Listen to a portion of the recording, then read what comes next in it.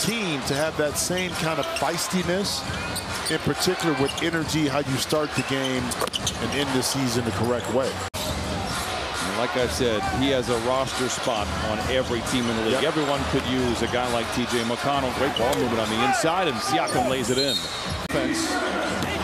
It just went away right there. First fast break points of the game. you were too good, man. That Midwest education, man.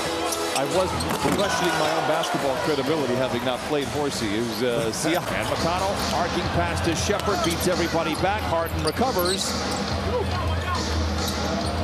And Siakam down the lane and punches it in.